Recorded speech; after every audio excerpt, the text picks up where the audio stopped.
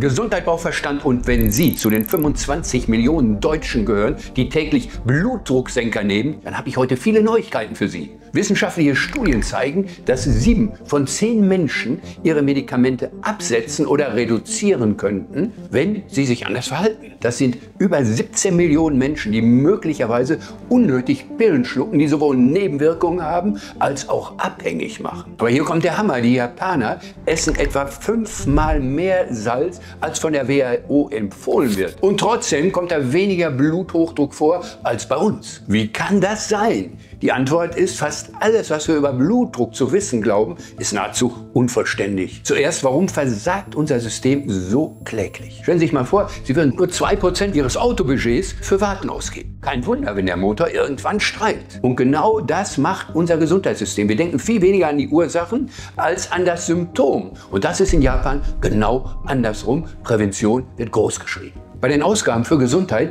liegt Deutschland an der Spitze und wir sind nicht gesünder als die anderen. Denn bei der Einschätzung von Gesundheit liegt Deutschland in Europa auf Platz 16 von insgesamt 27. Premiumpreise für Discount-Gesundheit das muss nicht sein. Ein kleiner Test. Holen Sie Ihr Blutdruckmessgerät oder fühlen Sie einfach Ihren Puls am Handgelenk. Messen Sie jetzt Ihren Wert, merken sich die Zahl und dann machen wir eine Übung. Unser Versuch, sechs Sekunden lang durch die Nase einatmen. Ein Atemzug aufbeißen und einmal schlucken. Die Zähne berühren sich ganz leicht dabei. Und wieder durch die Nase sechs Sekunden lang ausatmen. Das wiederholen Sie fünfmal hintereinander. Pausieren Sie einen Moment das Video, bis Sie das gemacht haben. Ihr Blutdruck sollte sich nun verringert haben und Ihr Puls hat weniger Schläge. Das haben wir erreicht in etwa nur einer Minute. Das war Ihr Vagusnerv in Aktion. Ihr körpereigener Blutdrucksenker. Warum verschreibt Ihr Arzt dann Pillen statt Übungen? Ganz eine Erklärung ist einfach. In sieben Minuten kann man ein Rezept ausschreiben, aber keine Übungen erklären. Und seien wir ehrlich, mit Übungen oder Training verdient niemand Geld, mit Pillen verdient man Milliarden. Ich erkläre jetzt einmal, worauf es wirklich ankommt. Es gibt im Wesentlichen zwei Ebenen, die Einfluss auf Ihren Blutdruck haben. Die Ebene 1 besteht aus drei Säulen. Erstens die Ernährung und damit meine ich nicht nur weniger Salz, sondern die Qualität dessen, was Sie essen. Die Vielfalt, die Nährstoffdichte, die Verarbeitungsstufe, das Verhältnis von Natrium und Kalium, all das spielt eine große Rolle. Nummer zwei, die Bewegung. Und nein, Sie müssen keinen Marathon laufen. Zehn Minuten tägliches Training bewirkt schon Wunder. Gleich zeige ich Ihnen, welche Bewegungsform doppelt so hohen Einfluss auf die Blutdruckregulation hat, wie zum Beispiel Joggen. Und die Säule Nummer drei, die Umwelt, das ist der neue unterschätzte Faktor, was Sie einatmen, wie viel Chemikalien Sie aufnehmen und wie groß der Lärm ist, der Sie umgibt. All das beeinflusst direkt Ihren Blutdruck. Und die Erkenntnisse in unserer modernen Zeit sind wenig verbreitet. Obwohl solche Erkenntnisse bestehen, ist das, was man daraus macht und wie man es einbezieht, erschreckend. Und die zweite Ebene, die leider ganz wenig beachtet bleibt, ist bei fast allen Blutdruckpatienten, die wir in 30 Jahren in unserer Praxis gesehen haben, völlig unberücksichtigt. Das sind drei miteinander verknüpfte Basisfunktionen, die wir als die neurophysiologische Triade bezeichnen. Erstens die Atmung. Die meisten Menschen atmen falsch, zu flach, zu häufig und vor allen Dingen durch den Mund statt durch die Nase. Das hält ihren Körper in einen permanenten Stresszustand. Der Sympathikus, ihr Stressnerv, ist ständig aktiv. Zweitens das Schlucken. Sie schlucken etwa 2000 Mal am Tag und ständig wird das autonome Nervensystem aktiviert. Bei falschem Schlucken wird Ihr ganzer Körper fehlinformiert. Und das geht sogar bis zum Mikrobiom. Drittens, die Kopfbalance. Ihr Kopf ist auf der Halswirbelsäule positioniert und übt etwa 5 bis 6 Kilo Gewicht auf die Wirbelsäule aus. Ist Ihr Kopf nur leicht verlagert, was bei sehr vielen Menschen vorkommt, die zum Beispiel am Bildschirm arbeiten oder auch einfach nur bei der normalen Körperhaltung, dann haben wir gleich eine Gewichtserhöhung auf der Wirbelsäule von mehr als das Doppelte. Die Folge der Verlagerung, Gefäße werden komprimiert, also Adern, wo Blut durchfließt und der Vagusnerv wird gereizt oder falsch angesprochen. Diese drei Funktionen sind wie Zahnräder in einem Uhrwerk. Funktioniert das eine nicht, funktionieren die anderen beiden auch nicht. Aber die gute Nachricht ist, man kann alle drei gleichzeitig trainieren und korrigieren. Jetzt verstehen Sie den Zusammenhang. Drei Säulen, die Ihre Gesundheit global beeinflussen. Und die Triade bildet die Basis für diese drei Säulen. Ein systemischer Ansatz, der tatsächlich funktioniert und den schauen wir uns im Detail mal einmal an. Beginnen wir mit dem Soforthebel der Triade, die Atmung. Nasenatmung produziert Stickstoffmonoxid, ein Gas, das ihre Blutgefäße erweitert. Mundatmer verpassen diesen Einfluss komplett. Bei jedem Schlucken wird der Vagusnerv aktiviert und 2000 Mal Schlucken am Tag bedeutet bei falschem Schlucken 2000 Mal Stresssignal. Und die Kopfbalance, natürlich der falsch balancierte Kopf, sorgt auch dafür, dass ganz bestimmte Nervenanregungen nicht zustande kommen. Zum Beispiel der Einfluss auf unseren größten Atemhilfsmuskel, der durch ein Nervensystem angeregt wird, wird falsch geleitet. Wir haben dazu das Faceformer Training entwickelt. Alle drei Funktionen gleichzeitig trainieren, nämlich Nasenatmung, Schlucken und die Kopfbalance. Etwa 15 Minuten täglich und nach vier Wochen bereits erste Erfolge. Wie das Training im Einzelnen funktioniert, könnt ihr in diesem Video sehen. Einfach den QR-Code scannen. Jetzt kommt der Teil, der alles auf den Kopf stellt, was ihr über Ernährung und Bluthochdruck zu wissen glaubt. Schauen wir nochmal nach Japan. Die Japaner essen täglich etwa 11,7 Gramm Salz. In der Tohoku-Region im Nordosten sind es sogar 27 Gramm. Das ist mehr als das Fünffache der WHO-Empfehlung. Wir Deutschen liegen etwa bei 8 bis 11 Gramm. Jetzt raten Sie mal. Japan hat eines der niedrigsten Bluthochdruckquoten in der Welt und hat gleichzeitig die höchste Lebenserwartung. Wie kann das sein? Die Antwort liegt also nicht im Salz allein, sondern in der Komposition ihrer Ernährung. Die Japaner kompensieren die hohe Salzaufnahme durch einen hohen Gemüsekonsum. Algen, Soja, Spinat, alles vollgepackt mit Kalium, der natürliche Gegenspieler von Natrium. Hinzu kommt, sie essen täglich Fisch und Omega-3-Fettsäuren enthalten im Fisch schützen die Gefäße. Und fermentierte Lebensmittel wie Miso und Natto sorgen für ein natürliches Mikrobiom. Und schauen Sie sich die Portionsgrößen an, viele kleine Schälchen statt einen großen vollgepackten Teller. Aber bevor Sie jetzt denken, Salz sei egal, schauen wir nach China. Dort finden wir eine Warnung für uns alle. 1979 hatten nur 7% der Chinesen Blutdruck. 2010 waren es bereits 33%. Was ist in diesen 30 Jahren passiert? Die Antwort ist erschreckend einfach. Sie haben unsere westliche Ernährung übernommen. Fastfood, wenig Gemüse, große Portionen, industriell verarbeitete Lebensmittel. Das Ergebnis? Eine Explosion von Zivilisationskrankheiten. 200 Millionen Übergewichtige, Diabetesraten durch die Decke. Und was bedeutet das für Sie? Reduzieren Sie Ihr Salz auf 5 Gramm täglich. Das bleibt wichtig. Aber zweitens, und das bleibt ganz entscheidend, es geht um die Qualität Ihrer Ernährung. Eine Tiefkühlpizza hat bereits 5 bis 6 Gramm Salz also Ihr Tagesbedarf. Und ein Brötchen vom Bäcker, ein bis zwei Gramm Salz. Wenn Sie ins Restaurant gehen, und das gilt insbesondere für ältere Menschen, fragen Sie nach salzarmer Zubereitung. Ein normales Hauptgericht hat oft drei bis vier Gramm Salz. Aber bedenken Sie, die Japaner zeigen uns, dass es nicht nur um Weglassen geht, sondern um das richtige Ergänzen. Mehr Gemüse für das Kalium, mehr Fisch für Omega-3, mehr fermentierte Nahrung für das Mikrobiom im Darm. Die Mischung macht's. Und jetzt räumen wir noch mit einem weiteren Mythos auf. Sie denken, Sie müssten Marathon laufen, um Ihren Blutdruck zu senken.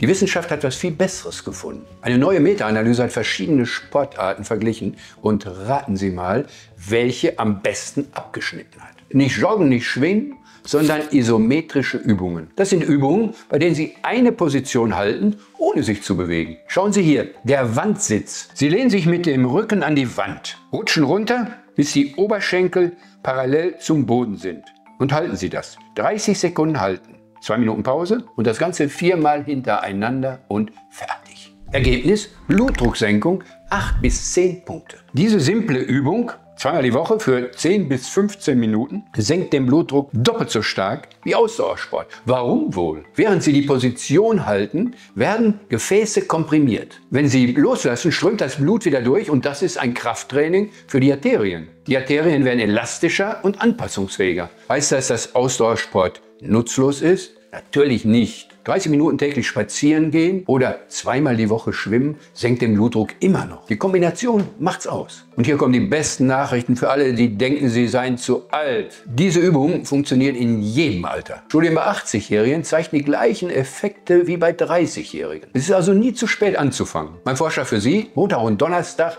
10 Minuten Wandsitz und Unterarmstütz, Planken auf Neudeutsch. An den anderen Tagen etwa 30 Minuten spazieren gehen. Schon etwa 3000 Schritte am Tag. Sie müssen keine Supersportler werden. Konstanz schlägt die Intensität. Jeden Tag ein bisschen ist besser als einmal die Woche auspowern.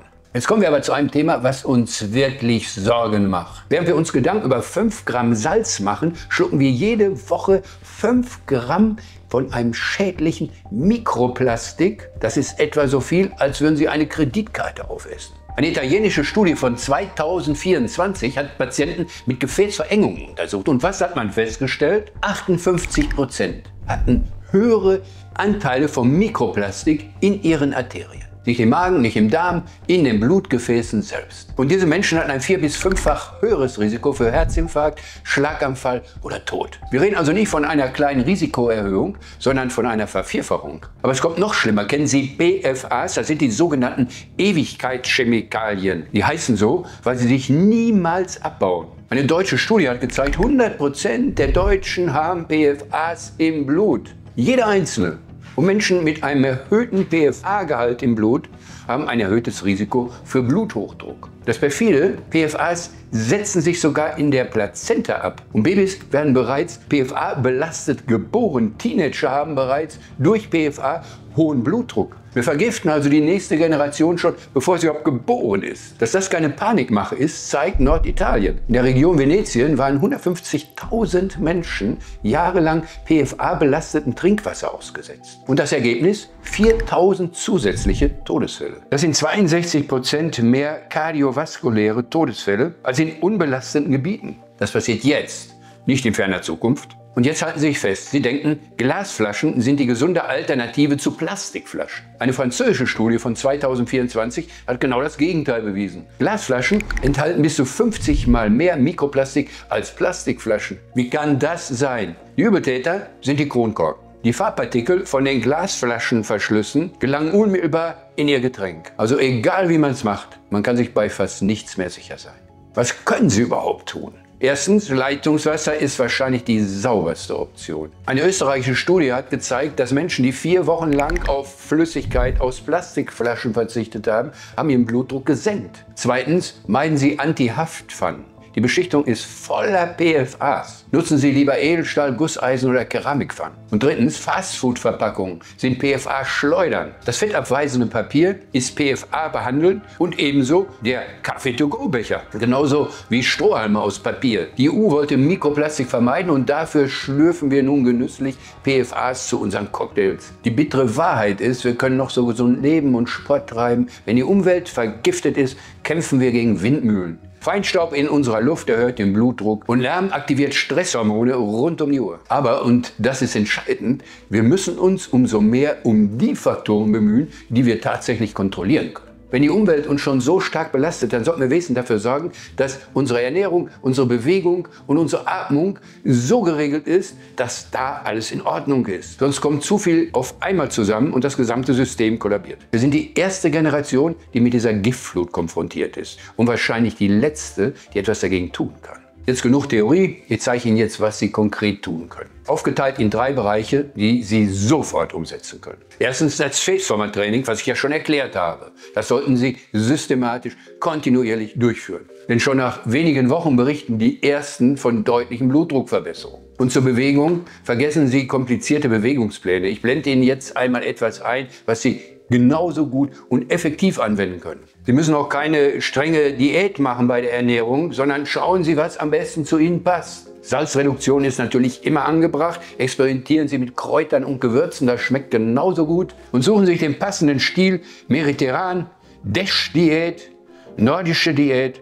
japanisch inspiriert. Und das Wichtigste, egal welcher Stil, achten Sie auf Kalium. Das ist zum Beispiel in Bananen, in Spinat, in Kartoffeln als Salzgegenspieler. Omega-3 in Fisch, in Walnüssen, in Leinöl für die Gefäße. Fermentiertes, Joghurt, Sauerkraut, fürs Mikrobiom. Fügen Sie noch einen Umweltbonus dazu. Leitungswasser statt Flaschen. Verzichten Sie auf aufwendige Verpackung in den Geschäften. Und beim Kochen keine Anti-Haftpfannen und keine Anti-Hafttöpfe. Aber bevor Sie loslegen, noch das Wichtigste, eine entscheidende Warnung. Reduzieren Sie Ihre Medikamente oder wenn Sie sie absetzen, nicht ohne Ihren Arzt. Stimmen Sie es mit ihm ab und zeigen Sie ihm die Erfolge, die Sie erreichen können ohne Medikamente. Und zeigen Sie ihm, was Sie dokumentiert haben, weil Sie unseren Empfehlungen gefolgt sind. Viele Ärzte sind überrascht, was man mit diesen Methoden überhaupt erreichen kann und lassen sich dann auch gern mit Zahlen überzeugen. Führen Sie also am besten ein Blutdrucktagebuch und notieren Sie die Besonderheiten, die Sie täglich beobachtet haben, die Sie gespürt haben. Schreiben Sie auch die täglichen Werte auf, die Sie gemessen haben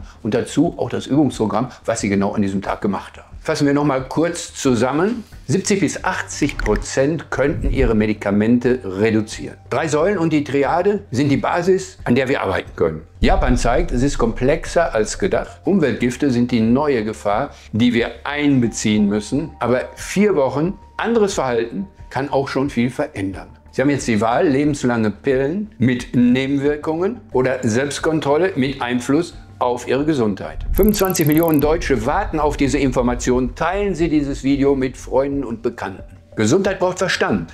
Übernehmen Sie die Kontrolle jetzt. Und ich sage wieder, Tschüss für heute.